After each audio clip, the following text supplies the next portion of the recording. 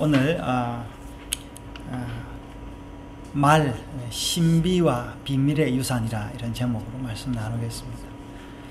여러분 태초에 하나님이 말을 창조했습니다. 세상을 창조해도 만약에 말이 없으면 그 세상을 어떻게 즐길 수가 있겠습니까? 여러분 이 땅에 있는 여러 어, 짐승들과 식물들은 세상을 즐기는 건 아니잖아요. 교제를 하거나 그런 건 아니고 본능에 의해서 살아갈 뿐입니다. 그런데 하나님께서 우리에게 뭘 주셨냐면 세상을 주셨고 또 말을 주셔서 그것을 즐길 수 있도록 했던 겁니다. 여러분 영화를 보면은 진짜 그 영화를 볼 줄 아는 사람은 영화를 여러 번 보죠. 왜 영화를 여러 번 봅니까? 그 영화를 해석을 할 수 있는 즐거움과 아, 기쁨이 있기 때문에 그렇습니다. 여러분 세상의 모든 것들은 다 무엇이 근본이냐면 말이 근본입니다. 지금 우리나라가 일본과 아, 뭐 이제 무역 전쟁을 하고 있지 않습니까? 뭐 경제 외란이다 뭐 이렇게 이렇게 이야기를 하고 있는데 다 무엇의 전쟁입니까? 서로 말을 주고 받는 겁니다. 그래서 우리는 이 전쟁을 통해서 뭡니까? 우리의 역사를 바로 세우는 겁니다. 역사를 바로 세운다는 말은 무슨 무슨 말입니까? 말을 바로 세운다라는 거죠. 네. 오늘 아, 누가복음 아, 열 머나의 비유에도 보면 예수님께서 이 한 머나를 주었는데 그 머나로 아, 장사를 했다. 그런데 여러분 돈이 있다고 장사를 하는 건 아니지 않습니까? 그죠? 돈 가지고 아, 돈과 지혜가 있어야 장사를 하는데 오늘 제가 이 말씀을 통해서 왜 말이 그렇게 중요한지를 나누도록 하겠습니다. 여러분 하나님이 우리에게 아름다운 말을 줬습니다. 지금도 이 아름답게 말하는 사람은 굉장히 인기가 있습니다. 네. 뭐 우리 연예인 중에서도 어, 이 연예 활동을 하다가 요새는 연예인들이 다 뭐를 하고 있습니까? 뉴스 나와 가지고 뉴스 해설을 하고 있습니다. 왜냐하니까 뉴스를 굉장히 아름답게 설명을 하고 이야기를 하니까 그렇습니다. 여러분 오늘날 우리나라는 성형 수술의 대가입니다. 그래서 사람들이 돈 있으면 성형 수술을 해서 얼굴이 이쁘려고 하는데 여러분 아무리 얼굴이 이쁘도 뭐합니까? 말이 예쁘지 않으면 그 사람은 미인이 아닙니다. 생각해 보십시오. 아주 미인인데 목소리는 괴물의 소리를 내면은 여러분 어떻게 하겠습니까? 차라리 어떤 사람이 그냥 앞을 못 보는 맹인이에요. 그런데 그 맹인이 아름다운 노래를 한다 해보십시오. 예, 얼마나 아름답겠습니까? 지금도 그래서 사실은 아, 그이 맹인 제가 좋아하는 그, 그 뭡니까 오페라 가수 어저 저 누구죠? 아, 아 그. 아, 예, 아, 예, 안드레아 보, 보첼리 같은 사람은 굉장히 장인임에도 불구하고 아주 아름다운 목소리를 내고 있습니다. 여러분, 우리는 아, 이 말의 중요함을 알고 어떻게 하면 아름다운 말을 할까? 어떻게 하면 생명이 있는 말을 할까? 이거를 우리가 생각을 해야 됩니다. 그래서 하나님께서 우리에게 주신 유산 중에 가장 중요한 것이 아니 전부가 뭐냐면은 다 말입니다.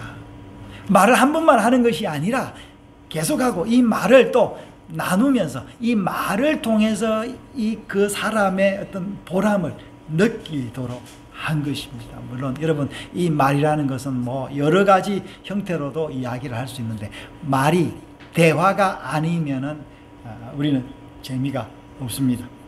그래서 현대 기술이 뭐가 뭐 IT 기술이 뭡니까?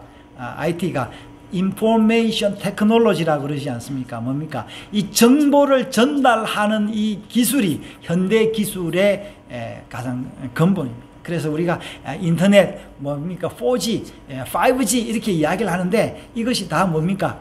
그 이 정보를 전달하는 그 속도와 아, 기술을 이야기를 하는 것입니다. 근데 우리가 알아야 될 것은 이 말은 겉을 보기에는 아무것도 아닌 것 같지만 타락한 말이 있고 어, 하나님이 주시는 그 진실된 말이 있다라는 것을 알아야 됩니다. 여러분 지금도 우리 타락한 말 때문에 세상은 썩어가고 있습니다. 여러분 그 타락한 그 말이 내 속에 들어오니까 내가 괴로운 거예요. 그래서 여러분 누가 나쁜 소식을 전하면 나 그 소식 안 듣게 안 들으면 안 되겠냐 그렇게 이야기를 합니다. 좋은 소식은 다시 듣고 싶습니다. 여러분 우리가 경기에서 이기면은 여러분 이긴 경기는 여러 번 보지 않습니까? 그렇지? 예, 그래서 그렇지만 여러분 살인 사건과 이런 뉴스는 저도 안 봅니다.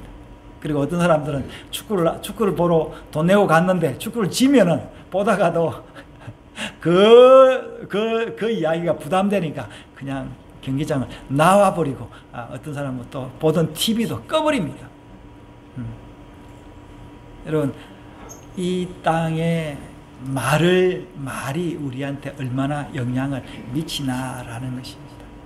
여러분 우리가 이렇게 서로 말로서 통할 수 있고 말로서 하루 주일을 또 말, 말을 통해서 안식할 수 있다라는 것은 어, 하나님께서 우리를 어, 택하신 것입니다. 여러분, 성경은 이 말의 이야기입니다. 태초에 말씀이 계시니라. 이 말씀이 하나님과 함께 있었다 그랬는데 여러분 여기 요한복음의 1장은 창세기 1장보다 먼저 있었던 이야기. 그래서 설계도가 있고 뭐가 있었다고요? 건물이 있는 것입니다. 뭐 건물이 있고 설계도가 있는 것이 아니라 그러므로 말은 먼저 만들어진 것입니다. 그런데 이 말이 어떻게 해요? 말이 거짓말로 인하여 오염됐습니다. 그래서 그 사건이 창세기 3장의 사건입니다. 여러분, 이 창세기 3장의 사건을 어떻게 해석해도 여러 가지 해석을 할 수 있지만, 여러분, 근본적으로 우리가 하나님의 말씀이 해방받았다라는 걸 여러분, 아, 이것이 본질입니다. 그래서 이후에 인류는 하나님의 말씀을 잃어버렸다라는 겁니다. 그래서 여러분, 우리가 가지고 있는 이런 이야기들은 하나님의 말씀이 아니라 그 또 지내오면서 뒤틀려 가지고 그 하나님의 말씀이 오염된 이 말씀입니다. 그래서 이 오염된 말씀을 오래 들으면 우리가 병들고 어, 나중에 결국에는 아, 죽게 되는 것입니다. 어, 제가 아, 그 성지 성지순례 가서 제가 보았던 가장 인상적인 게 제가 여러 번 이야기했죠. 그 랍비들이 나이 많은 그 어르신들이 그 유대인들이 성경을 가지고 계속 그, 그 뭡니까 성전에 뿐만 아니라 유적지에 가서 계속 기도하는 거 그거 그것이 뭐냐 어, 저는 야 이 사람들이야말로 말을 계속 태초에 그 말씀을 계속 엎조리고 있다라는 것이에요. 그래서 신명기에 뭐라 했습니까? 들어라 이스라엘아 그렇게 이야기를 하지 않습니까? 우리는 하나님의 말씀을 듣고 하나님의 말씀을 해야 되는 것입니다. 이스라엘의 박물관에 가면요. 따로 별, 별궁의 박물관이 있는데, 이 최근에 지은 박물관입니다. 박물관에 한 켠에 지었는데, 그 박물관에 지은 그 형상이 뭐냐면, 항아리의 형상이에요. 그 왜 항아리의 형상의 박물관을 지었냐니까, 그 그 항아리 안에 있는 그것이 발견된 곳이 그 항아리였기 때문에 항아리의 형상으로 만들었는데 그 안에 있는 말씀이 무슨 말씀이냐면 그 유명한 사해사본이 그 본, 그 원본이 여러 원본이 있는데 쪼가리 중에 몇 쪼가리가 거기에 있다라는 겁니다. 여러분, 왜 그 사해사본이 있는 그 박물관을 사람들이 보면서 열광하겠습니까? 여러분, 그 사람들이 믿음의 사람들이 이 하나님의 말씀을 지키기 위하여 어디에요? 사해 옆에 그, 그 동굴에서 그 말씀을 가지고 살다가 죽었다라는 겁니다. 여러분 우리가 하나님의 말씀이 진리라는 거, 내가 하나님의 말씀을 지킨다라는 것을 그들은 그 중요성을 알았고 자기들 역시도 하나님의 말씀을 지켜야 되겠다라는 걸 여러분 알았던 것이죠. 여러분 믿음은 뭡니까? 믿음은 반드시 믿음은 시련이 있습니다. 여러분 우리가 하나님의 말씀을 믿음으로 받기 위해서는 그 믿음의 시련을 거쳐야 되는 거죠. 여러분 세상에도 마찬가지입니다. 여러분 세상에 어떤 지도자들이 좋은 지도자들입니까? 자기의 정치 철학을 시험받고 고난받으면서 자기의 그 의지가 사실이라는 그거를 증명한 그 사람이 그 정치인이 훌륭한 정치인입니다. 그런 사람이 대통령이 돼야 되는데 자 역대 대통령들을 보십시오. 잘 먹고 잘 살다가 좋은 가문의 집 사람으로서 그냥 좋은 정치줄 따고 그냥 그 정치인이 된 사람들은요. 정치인이 되고 나면은 자기 그 챙긴 뭐 우리나라 대통령 보십시오. 감옥 갔다 온 대통령 그래도 낫습니다. 그래도 내 정치의 의지를 가지고 금식이라도 그냥 죽을 목숨 걸고 금식이라도 한 정치는 그래도 낫습니다. 예, 사형언도를 받을지언정 내가 이 정치를 위해서 살아야 되겠다라는 그런 대통령 훌륭한 대통령이었습니다. 자, 좀 더 넓혀 볼까요? 여러분, 세계에서 가장 훌륭한 대통령은 어느 누구 대통령이 이야기했습니까? 자, 미국의 뭐 여러 대통령들 이야기하지만 그러나 여러분 남의 나라 대통령의 그 생일 잔치를 해주는 그런 그 생일 잔치를 받은 대통령은 없습니다. 어떤 대통령은 생일 잔치를 90회 생일 잔치를 온, 온, 온 세상 사람들이 그의 생일을 축하해 줬습니다. 누구죠? 그 사람 어, 영국에서 어, 영국 그 뭡니까 윈블리 구장에서 생일 축하를 받은 대통령. 최근에 그 BTS가 거기서 공연을 했죠. 그 몇만 명의 사람을 어, 사람들로부터 생일 축하를 받은 대통령이 있었습니다. 누구였습니까? 만델라, 넬슨 만델라입니다. 여러분 그 사람이 자기의 정치적인 신념, 자기가 했던 그 말을 위해서 감옥에 몇 년 있었는 줄 아십니까? 27년 있습니다. 27년을 감옥에 있으면서 내가 내 정치, 자기 자신의 정치 철학을 굽히지 않았던 겁니다. 그래서 오늘 말씀에도 뭡니까? 예수님 아, 한 기인이 왕위를 받아오려고 머나를 다 나눠준 거예요. 내가 올 때까지 너 이거 장사하고 잘 있어라 했는데 근데 이 장사를 하려 하니까 다른 사람들이 이, 이 사람들을 통하여 장사를 못하게 하는 거죠. 그래서 여기 있는 세 종류의 사람이 나오죠. 어떤 사람은 그한 머나로 그럼에도 불구하고 한 머나로 열 머나를 남겼고 어떤 사람은 한 머나로 다섯 머나를 남겼고 또 어떤 사람은 한 머나를 그대로 쌓아두었는데 가서 하는 말이 말이 그렇습니다. 말이 내가 아, 주인이 준 이 머나 가지고 장사 못해서 죄송합니다. 이렇게 했으면 상황이 달라졌을지 모르는데 여기 와가지고 아 당신은 훌륭한 사람 아닙니까? 예, 전능한 전능하신 분이죠. 그렇기 때문에 당신은 심지 않아도 거두고 어 뭐 그냥 못하는 일이 없기 때문에 음, 저까지도 용서해 줄 수 있는 그런 능력이 있지요. 뭐 이런 식으로 예, 왕에게 이야기를 했던 것입니다. 그랬을 때 여기 왕이 뭐라고 이야기합니까? 내 너를 심판한다 그랬습니다. 어떻게 심판한다고? 뭘로 심판합니까? 내 말로 너를 심판한다 그랬습니다. 사랑하는 여러분, 우리가 하나님 우리에게 말을 주셔 주었습니다. 여러분 그 말이 오늘 머나로 비유할 수 있습니다. 여러분 그 머나가 그 머나를 가지고 우리는 어, 뭡니까 열 머나를 남길 수 있고 다섯 머나를 남길 수 있고 또 한 머나를 남길 수 있습니다. 그러나 남기지 못할 수도 있습니다. 그렇지만 우리는 알아야 될 것은 남기지 못하더라도 어떻게 해요? 참 아, 그 주인에 대한 경외심, 주인이 어떠한 것을 알고 늘 회개하고 자복하는 마음으로 살아야 될 것입니다. 머나를 많이 남긴 사람은 그 영광을 누구에게 하나님께 돌리고 이웃과 나누어야 될 것입니다. 그 머나 가지고 장사를 못하는 사람은 뭡니까? 아 하나님이 그래도 아, 나에게 은혜를 주신 것 감사하다는 마음으로 그 주인이 올 때를 기다려야 할 것입니다. 여러분 성경에는 다 말의 이야기입니다. 하나님께서 누구에게 말을 주었습니까? 아담과 하와에게 말을 주고 아담과 하와가 이 말을 잊어버리자 온 세상은 다 죄로 물들게 되었습니다. 그러자 하나님이 노아를 택하여 어떻게 해요? 노아를 택하여 온 세상을 멸했습니다. 그래서 노아의 가족을 통해서 세상에 새로운 음, 한 민족을 만들었는데 그래서 노아는 육체의 DNA를 온 세상에 퍼뜨렸습니다. 그러나 이것으로 모자랐습니다. 하나님께서 자신의 말을 할 사람을 다시 주었습니다. 그 사람이 누구시요?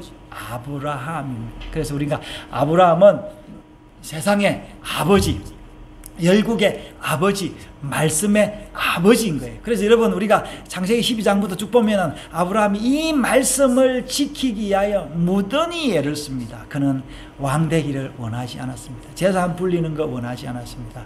그러나 그는 하나님께서 자기에게 부탁한 이 약속을 아브라 아, 이삭과 야곱에게 잘 전달하였고 하나님의 약속은 헛되지 아니하여서 비록 그들이 어, 족장들이 부족하였지만 그 말씀은 흘러서 이 요셉에게로 갔고 요셉 요셉을 통하여 이스라엘 백성들이 이집트로 가서 400년을 아, 3대를 지내게 되는데 아, 3, 아, 4대를 아, 지내게 되는데 4대 동안 인구가 불어서 다시 광야로 나와서 뭘 받습니까? 말씀을 받습니다. 여러분 말씀 말씀의 가장 한마디로 말씀 말씀의 핵심이 뭡니까?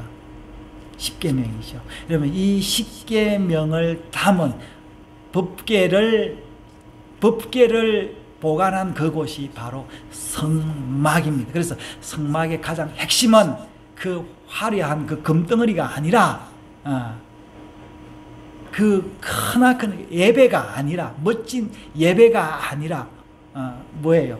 그 참 아주 정결하게 차려입은 제사장들의 그 옷이 아니라 잘 차려진 그 재단에 있는 그 떡의 맛이 아니라 포도주가 아니라 뭐예요? 하나님의 말씀인 것입니다. 여러분 그 말씀에서 뭡니까? 첫 번째 하나님을 공경하는 말씀 그리고 인간과의 관계를 이야기합니다. 그래서 하나님 공경하고 인간을 사랑하라 그렇게 이야기했습니다. 그래서 인간을 사랑하라는 것이 뭐가 나오면 첫 번째로 내 부모를 공경하라. 그리하면 내 하나님 내 여호와가 내게 준 땅에서 생명이 길리라 그랬습니다. 여러분 우리 부모님은요 하나님의 말씀을 전해주는 통로가 되어야 되는 것입니다. 사실은 제가 지난 지난주에도 이야기했지만 우리의 진정한 부모는 육신의 부모가 아니다라고 이야기를 했던 것입니다. 우리의 진정한 부모는 영의 부모만이 우리의 부모입니다. 여러분 그것을 누가 알았느냐? 다윗은 알았다라는 것이요. 다윗은 자기가 이 엎조리는 이 말씀이 나중에 본체로 올 것이다라는 것을 알았다는 겁니다. 그래서 다윗은 심지어 내 자손 중에서 주님이 올 것이다. 내가 숭배할, 내가 경배할 주님이 올 것이다라는 것을 다윗은 알고 있다라는 겁니다. 그래서 다윗의 아버지는 이세가 아니라 누구요? 주님이 다윗의 아버지였다라는 겁니다. 여러분, 우리는 아, 다윗처럼 이 말씀을 다윗이 했던 그 노래를 가지고 있습니다. 그래서 그 말씀의 본체가 이 땅에 왔습니다. 그분이 예수님, 예수님입니다. 그래서 이 예수님을 따라다녔던 열두 제자는 오늘 읽었던 아, 이 말씀들을 기록했습니다. 누가는 열두 제자는 아니었지만 열두 제자의 버금가는 그런 아, 그, 그, 그 지식으로 예수님의 말씀을 기록했습니다. 우리가 잘 아는 예수님이 사랑받던 그 제자 누구예요? 요한은 이 예수님의 말씀의 귀한 말씀이 귀한 것을 알았던 거예요. 그래서 요한은요 뭐라고 기록했습니까? 태초에 말씀이 계시니라 하면서 예수님이 뭐라 뭐였다고요? 말씀이었다라고 이야기를 하고 있는 겁니다. 그래서 요한복음 마지막 장에도 이 말씀 예수님이 한 말씀이 너무 너무 많다. 이 땅에 두기도 부족하다. 그러면서 아, 이제 그 말씀을 요한복음을 마쳤는데 그는 죽으면서도 뭡니까? 요한계시록을 썼죠. 요한계시록에 뭐라고 했어요? 이 말씀을 어떻게 해요? 아, 읽고 듣고 아, 그 가운데 말씀이 기록한 것을 지키는 자는 복이 있다 그랬습니다. 그러면서 여러분 자 계시록 제일 마지막 장에 한번 가보겠습니다. 그래서 이 계시록은 전체 다 뭐에 대한 이야기냐? 말씀에 대한 이야기입니다. 그래서 일곱 교회 일곱 교회 아시아 일곱 교회 이야기를 하자마자 그 다음에 뭐가 나옵니까? 두루마리가 나오면 두루마리에 인을 떼는 게 나오는데 이 두루마리가 뭐예요? 두루마리에 뭐가 있습니까? 말씀이 있는 거예요. 또 그 두루마리 일곱째 두루마리 열려고 할 때 뭐가 나오죠? 일곱 나팔이 나오면 뭐 나팔은 뭡니까 여러분? 나팔 하니까 소리가 나오는데 소리가 아니라 그 소리는 누구의 소리? 하나님의 말씀의 소리입니다. 그래서 이 말씀 이 두루마리에 이 두루마리와 나팔을 듣지 않은 사람은 나중에 일곱 진노의 쟁반이 나오십니다. 결국 그 진노도 뭡니까? 말씀인 것입니다. 오늘, 뭐 오늘 누가복음 19장의 말씀에 뭡니까? 내 말로 너를 심판한다 그랬습니다. 그래서 여러분 우리가 어디 가면요. 뭐 부모님이나 동료나 사랑하는 사람이나 직장의 상사나 뭘 잘하면 됩니까? 말 잘하면 됩니다. 그 말 못해가지고 다 밉상 받는 건데 거짓말 하면 안 됩니다. 그래서 아, 성경에는 날 이야기 시편에 나오죠. 맹세한 것은 해로울지라도 지켜라 그랬는데 왜 그 이야기를 하냐면 하나님의 말씀을 아, 잘 지켜야 된다. 그 이야기를 하고 싶어서 그렇습니다. 그래서 하나님의 말씀을 잘 지키기 위해서는 뭡니까? 다른 것들도 이 모든 게 다 붙어 있기 때문에 하나님의 말씀도 잘 지켜야 된다라고 이야기하고 있습니다. 자, 요한계시록의 마지막 장에 뭐라고 이야기를 하고 있습니까? 19장 19절에요. 22장 19절에 두루마리의 예언의 말씀에서 제하여 버리면 이 아, 하나님이 두루마리에 기록된 생명나무와 및 거룩한 성에 참여함을 재버리라. 이거 뭡니까? 여기에서 우리가 하나님의 말씀을 가감없이 지키는 자가 하나님 나라에 들어간다라는 이야기입니다. 예. 그래서 뭐라고 이야기하고 있습니까? 나중에 이 앞에 앞에 뭐라 했습니까? 어떤 사람들이 예. 자 22장 7절에요. 애은의 말씀을 지키는 자는 복이 있다 라면서 마지막까지 이야기를 하고 있습니다. 그 다음에 가서 뭡니까? 또 아, 거짓말하는 자들 여기서 이제 15절에요. 개들과 점술가들과 음행하는 자들과 살인자들과 우상 우상 숭배하는 자들과 및 거짓말을 좋아하며 지어내는 자 예, 거짓말을 좋아하며 지어내는 자. 이 무슨 여기서 말하는 거짓말은 뭐냐면 하나님 말씀을 바로 전하지 않고 어, 거짓말로 전하는 것입니다. 왜 그렇습니까?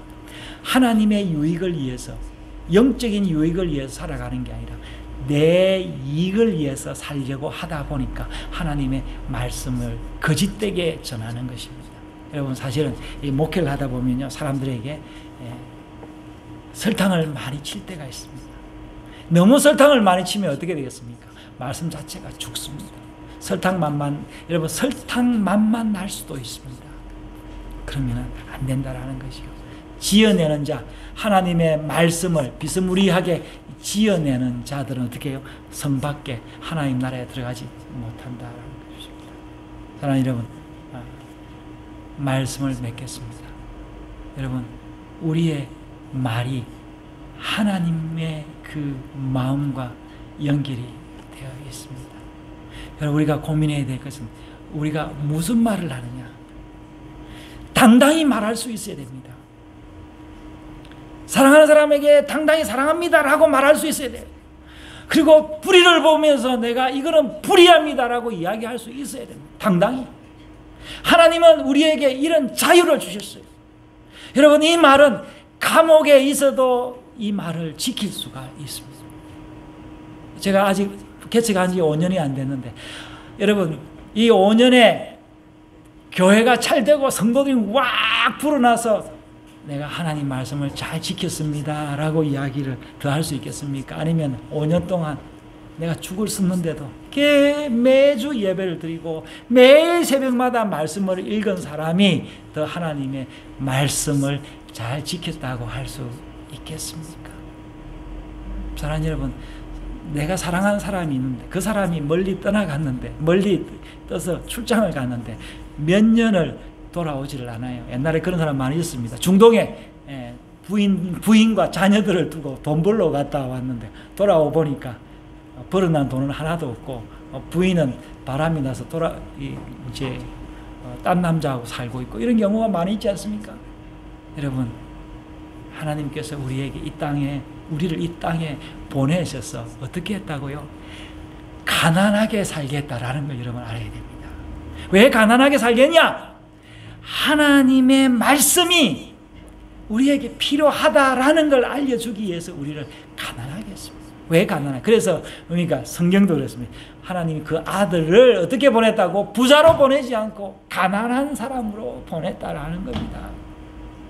그래서 여러분 우리가 혹시 가난하지 않더라도 부자다 하더라도 이 부를 어떻게 해요? 하나님께 영광을 돌려야 되는 겁니다. 내가 잘해서 잘했다 이런 사람은 옆에 사람이 아무도 없습니다. 그리고 그런 사람은 기도할 이유도 없고 어, 기도하지도 않습니다. 하나님은 아까 우리가 읽었죠. 심령이 가난한 자는 복이 있다라는 걸 알아야 돼요. 여러분, 여러분 혹시 아직 말씀이 여러분 속에 없습니까? 복이 있습니다. 여러분에게 말씀이 필요할 것이기 때문에 그렇습니다. 여러분 하나님의 말씀은 심히 가까워 내 입에 있다 그렇게 이야기를 했습니다. 오늘도 여러분 이 말씀 속에서 우리가 만나고 또 예배 이후에 또 이 말씀을 나누면서 우리의 풍성한 그 하나님의 사랑을 나누기를 바랍니다. 이 말씀이 여러분 이스라엘에서 그 죽을 때까지 말씀을 읽던 그 노인들을 노인처럼 우리 역시도 아, 여러분 나이가 들어가면서 할 일이 없, 없을 때 이 말씀을 읽으면서 시간을 어, 보내기를 바랍니다. 지난주 제가 우리 장모님 뵙고 왔는데 너무너무 행복하시대요. 내 인생에 이렇게 행복할 때가 있나라고 이야기를 하면서 차 타고 가면서 찬송을 얼마나 많이 부르시는지 아, 하면서 같이 기도하고 싶고 야, 몸이 좋지 않아 가지고요. 진짜 어디 가시지도 못하는데 그걸 보면서 야 하나님의 말씀이 이렇게 좋은 약이구나. 사랑하는 여러분 여러분 이렇게 80이 80이 된 어르신이 가장 행복하다. 이렇게 나는 내일 죽어도 행복하다. 이렇게 말할 수 있는 그런 아, 그, 그 그렇게 표현할 수 있는 약이 있었겠습니까? 그런 말씀이 있겠습니까?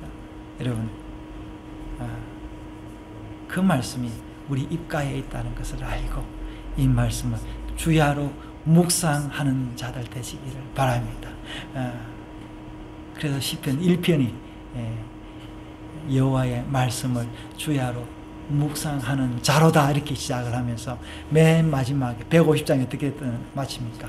할렐루야 이렇게 마치는 것입니다.